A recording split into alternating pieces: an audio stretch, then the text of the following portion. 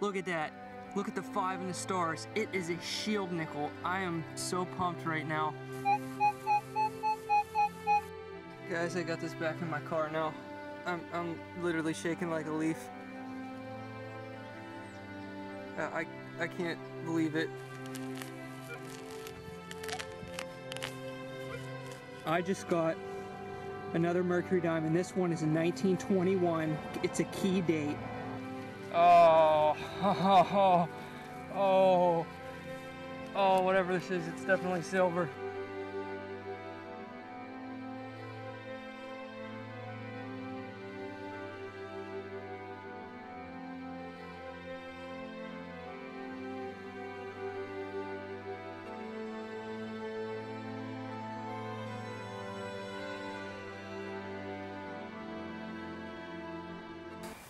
Today I'm going to be testing out the 11 inch coil on the Deus just for a couple of hours and I'm going to give you my thoughts on it as the hunt goes.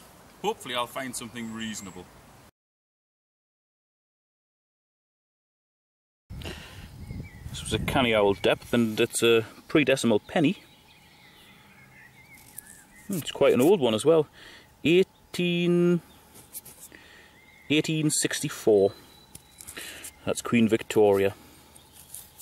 Seems to be in reasonable condition underneath all of that muck. So that's a decent find, and it was approximately ooh, seven or eight inches deep. This looks like another coin. Looks like another penny, actually. Yep, it is indeed. Hopefully another Victorian one. That would be nice. It's not. 1939. So that one's George V. It's got a mark on there as well. I don't think I hit it with a spade because it was in here. I went in like that. Oh well, not to worry. At least it wasn't a valuable one. First thing I notice is the increased weight. It is a little bit heavier. You can feel it. I wasn't expecting to feel it at all, but you can. It doesn't really stop you swinging it fast, and it, it doesn't feel heavy when you're actually using it. It is a little bit slower to use the 11 than it is with the 9, but that's simply just down to this slight increase in the weight.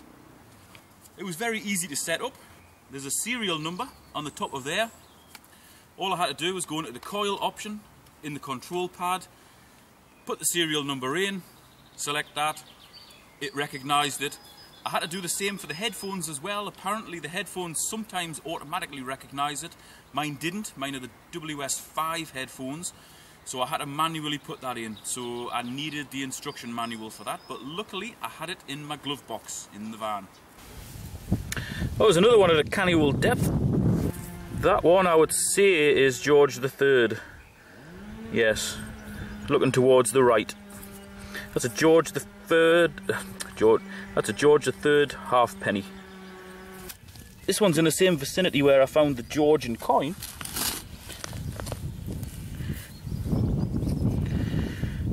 Ah, and it's a lump of lead. The handling is a little bit slower than with the 9, but that's to be expected. Sounds, the sounds are incredible. The deeper signals give a much louder, clearer sound than with the 9 inch. Definitely. But the finds at depth were definitely more noticeable.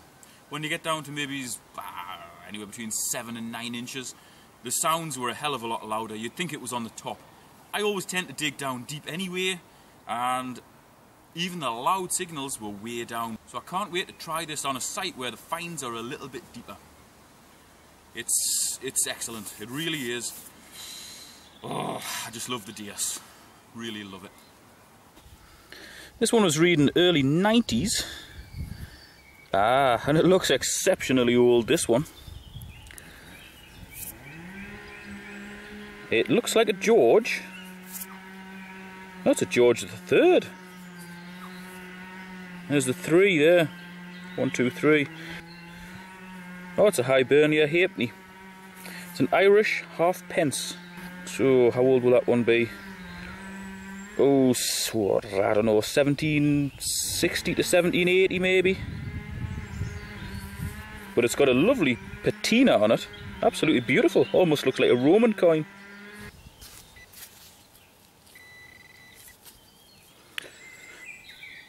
Hey, no, I thought that was a threepenny bit. But it's a button. It's quite heavy, so I don't think it's silver, but it may be silver plated.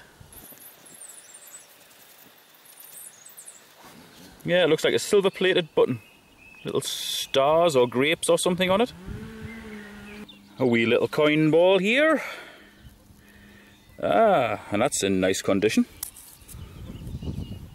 It's a ship halfpenny from 1955. Elizabeth II. That's got a lovely green patina on it. Beautiful.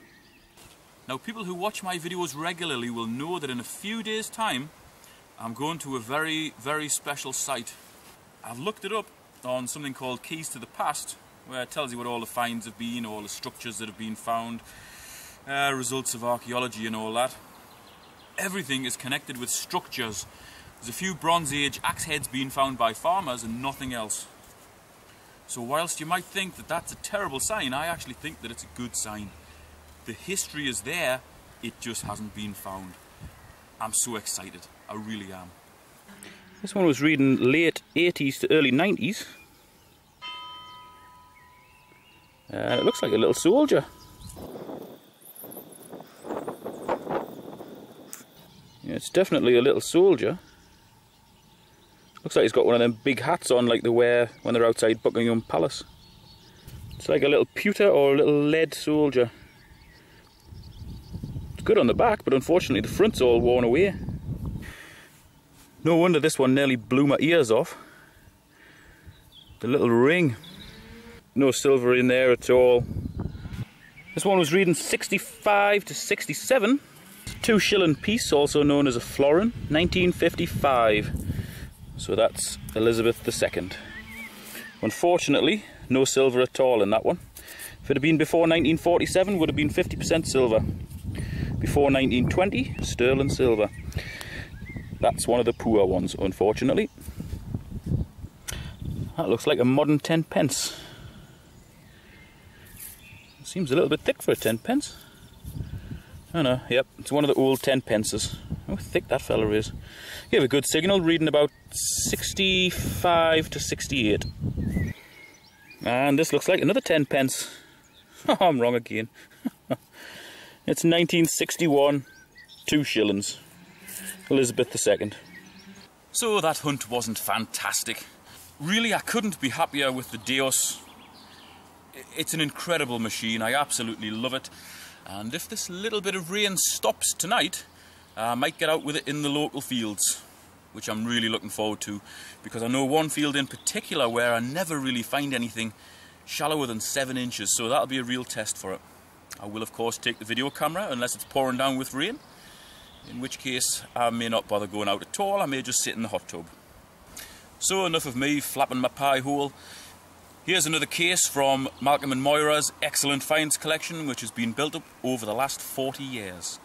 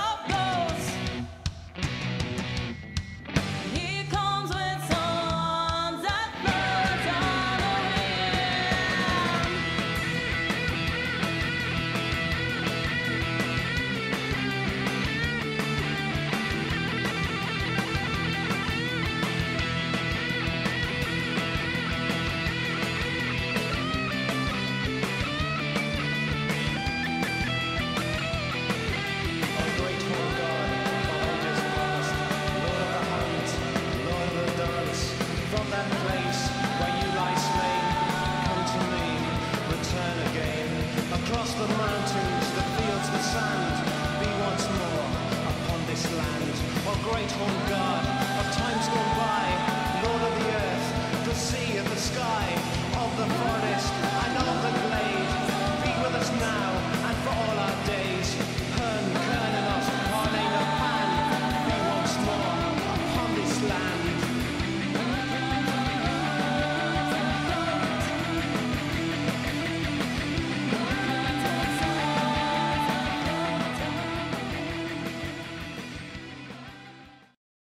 very much for watching. Remember, I do have a trench art giveaway which ends on the 31st of this month. That's the 31st of May 2014.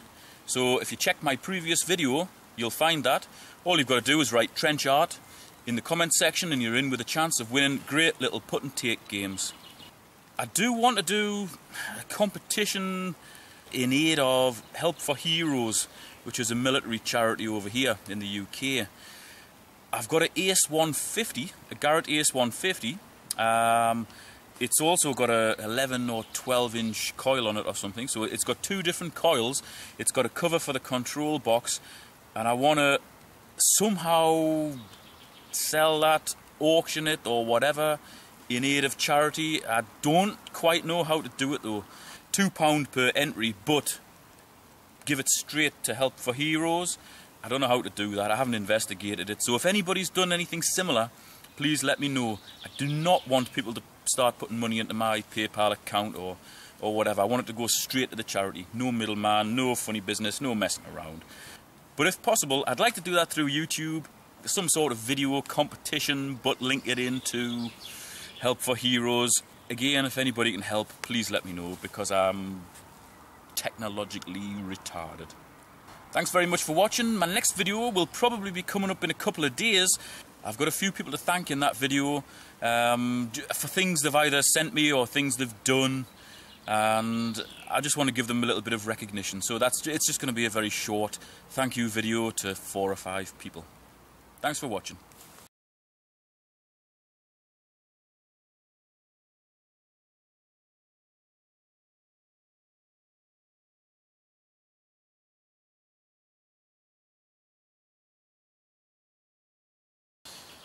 Old man's knees.